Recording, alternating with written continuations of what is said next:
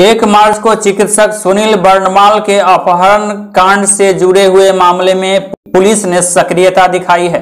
नारगंजो जंगल से बरामद कर लिया गया है। इस अपहरण कांड में संलिप्त दो लोगों को भी जमुई के सोनो पुलिस ने गिरफ़्तार कर लिया है। इनके पास से देसी कट्टा एवं कारतूस भी बरामद किए गए हैं। जमुई के सोनो थाने में एसडीपीओ भास्कर रंजन ने आज प्रेस कॉन्फ्रेंस में इस सफलता की बाबत जानकारी दी। जमुई के सोनो पुलिस ने महुआ शराब के साथ दो कारोबारी को गिरफ़्तार किया है।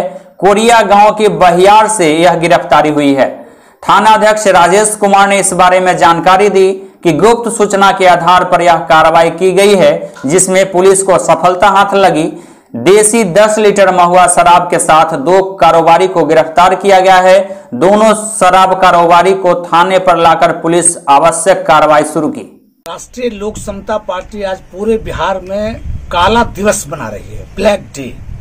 काला दिवस इसलिए कि बिहार सरकार करोड़ों मजदूरों को लाने की रोज बात करती है, लेकिन ये मजदूरों को लाने में बिल्कुल मैंने एकदम योजनाबद्ध तरीके से ये नहीं लाना चाहते हैं। मजदूर आने के लिए बिलख रहे हैं, मर रहे हैं, पैदल चल रहे हैं।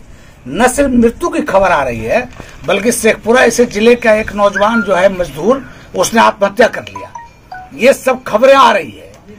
क्वारंटाइन जिनको लाए हैं, उनको क्वारंटाइन सेंटर बनाया।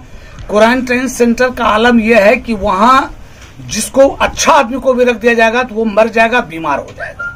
और सरकार ने क्या किया? बिहार सरकार ने एक बहुत ही घिनौना काम किया कि मीडिया को क्वारंटाइन सेंटर में जाने पर प्रतिबंध लगा दिया। और बजाबता इसके लिए मुख्य सचिव ने निर्देश जारी किया। और जब बहुत हल्ला हुआ, तब मीडिया शब्द हटा करके कहा कि जो ऑथराइज कर्मचारी और अधिकारी हैं, उसके अलावा कोई नहीं जाएगा। मतलब मीडिया भी नहीं जाएगा। ये हमारी पार्टी इसको लोकतंत्र पर हमला मानती हमारी पार्टी इसको कहती है कि लोकतंत्र का ये सबसे घिनौना शकल इन्होंने बना दिया बिहार में, जिस सुशासन की बात ये कर रहे थे, वो तार तार हो गया। और हमारी पार्टी समझती है कि आप मजदूरों को नहीं ला सकते हैं अगर तो वहाँ जीने के लिए दस हज़ार रुपये उनके खाते में डालिए। आप जिन मजदूरों को ला रहे हैं, उस पर दस हज़ार रुपये से ज़्यादा खर्च करना पड़ रहा है आपको। तो आप लाना नहीं चाहते हैं। मजदूर आए बगैर रुकना नहीं गवा रहा है उसको, चूँकि वहाँ भूख और बीमारी से वो घबरा गया है, लड़ रहा है। तो हम सरकार से कहना चाहते हैं कि आप अविलंब कदम उठाइए। मीडिया को रोकने के बजाय आप अपनी बद इंतजामी रोकिए। मीडिया को प्रतिबंधित करने के खिलाफ आप भ्रष्टाचार और लूट रोकिए।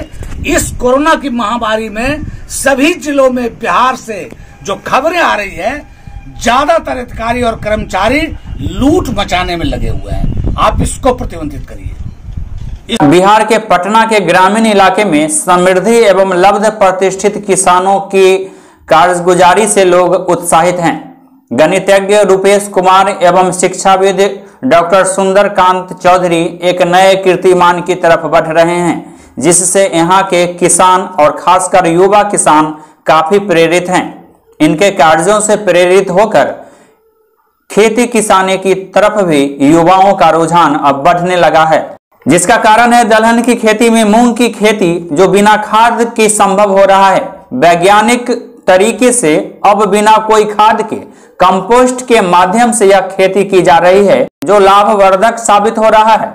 निश्चित रूप से इससे युवा प्रेरित होंगे, किसानों को नई ऊर्जा मिल रही है। बिहार ही नहीं अपितु विभिन्न क्षेत्रों के लिए दूसरे प्रदेशों के लिए भी यह मिसाल बन रहा है। A to Z News Live ने इन किसानों से बातचीत की और इस खेती के राज के बारे में पूछताछ की। देखिए क्या कुछ बताया। हम लोग खा रहा है पूरा खा गया ये पटना जिला अंतर्गत विक्रम प्रखंड के सुंदरपुर चौथिया पंचायत अंतर्गत हरपुरा ग्राम में यह हरपुरा ग्राम के किसान, सारे बुद्धिजीवी किसान हैं। मैं उनको हृदय से नमन करता हूँ। और साथ ही हमारे बीच दो द्वय किसान, एक समृद्धशाली किसान इस गाँव के लब्ध प्रतिष्ठित, दूसरे गणितज्ञ रूपेश जी, जो दोनों अपने खेत में जो है सो लहलहाते मूंग को देख रहे हैं, निहोर रहे निहार रहे हैं। लगता मानो भविष्य में ये मूंग की खेती जो साकार होगा, उस मूंग को, की दाल होगी और ये दाल ये लोग ग्रहण भी करेंगे और आम जनों के लिए भी दाल ये काम कामयाब होंगे। उनके भोजन के कटोरी में दाल पड़ेगा ऐसा मेरा विश्वास है। तो श्रीमान जी आप बताया जाए श्रीमान जी आपका परिचय? आप श्रीमान जी आपका परिचय? हमारा परिचय सुनील कुमार हटूरा जी। जी नमस्ते सुनील जी। ऐसा है ये मूंग की खेती में क्या मतलब यहाँ पर तो फूल लग गई है।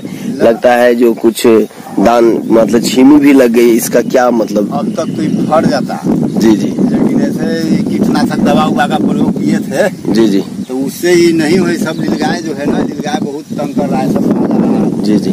सोच रहे हैं कि इसमें अब फिर कल आज जाके छिड़ेंगे दवाई उसे खाने के बाद मुँह उगाता है खाली।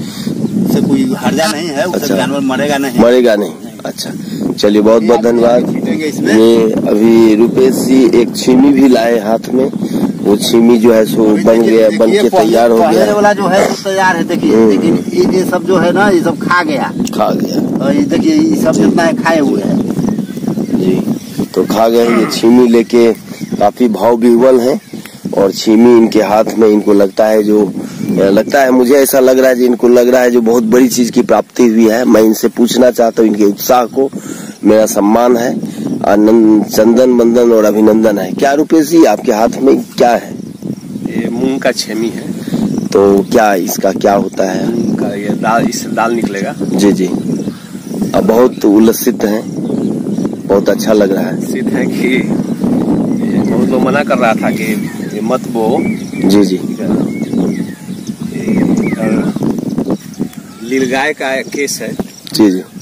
बहुत बर्बाद करता है फ़सल को। ओ। सब खा जा रहा है नहीं तो देखिए ऐसा ऐसा तो उसके लिए तो हमारे मान्यवर बोले हैं सुनील जी महोदय जो उसके निष्पादन हेतु देखिए दिखा रहे हैं। जो मूंग की जो है सो खा गए हैं मुझे मुझे एक एक्सपेरिमेंट करना था। जी जी ठीक है ये लगाया दो बीघे में है जी चलिए तो ये दो बीघे में ये खेती है। ये जो है मूंग की खेती हुई है और मूंग में जो है सो फूल भी लगी हुई है, कली भी हो चुकी है, दाने भी हो गए हैं। कुछ दाने जो है सो सूख रहे हैं। लिहाजा नील गाय की यहाँ पर आक्रांत उनकी जो है सो ये चल रहा है, कहर बरपा रहा है। उसके कहर को रोकने हेतु हमारे माननीय सुनील जी बोले, जो आज दवा का जो है ना छिड़काव किया जाएगा, ताकि उनकी कहर से बचे और मूंग यहाँ उपजे। बहुत मुजफ्फरपुर के बोचहा में आज एक ग्राहक को उस समय झटका लगा जब एटीएम से उन्हें फटा हुआ नोट मिला। कई नोटों में कागज़ भी सटे हुए थे, लिहाजा ग्राहक के होश उड़ गए। ग्राहक का बताना है कि उसने एटीएम से नौ हज़ार रुपए निकाले, लेकिन जब नोटों को देखा तो उनके होश उड़ गए। वजह क्या था? खुद पीड़ित ग्राहक ने क्या कुछ बताया? आप भी देखिए। नौ हज़ार रुपया हम अभी निकाले हैं एटीएम से और देखिए जो दो दो हज़ार का चार नोट निकला है जो कि फटा हुआ है। और पेपर भी चिपकाया हुआ है। Sir Sarfuddinpur S B I ATM एक मिनट रुकिए। ये नोट देखिए। ये नोट देखिए सरफुद्दीनपुर का S B I A T M है जो कि अभी अभी पाँच से दस मिनट पहले बैंक वाले जो यहाँ पे आए थे वो डाल के गए हैं। और इस नोट की हालत देखिए। किसी तरह से लगता है कि ये नोट जानबूझ के एटीएम में डाला गया है। बैंक के द्वारा सारा नोट फटा हुआ है। आप गौर से इस नोट को देख सकते हैं। सारा नोट फटा हुआ है क्योंकि अगले ने नौ हज़ार रुपये यहाँ से निकाले हैं। ये यहाँ पे बहुत सारे लोग हैं। सरफुद्दीनपुर का स्टेट बैंक का एटीएम है। और अभी अभी पाँच से दस मिनट पहले ही वो बैंक वाले यहाँ पैसा डाल के गए हैं। नाम बता इसमें आपका नाम क्या हुआ? मेरा नाम पप्पू कुमार चौधरी है। घर जारंग दी है। नमस्ते। मेरा नाम पप्पू कुमार चौधरी है। घर जारंगदी है। पैसे निकालने के लिए आए थे और ये फटाफटा फटा नोट निकला है।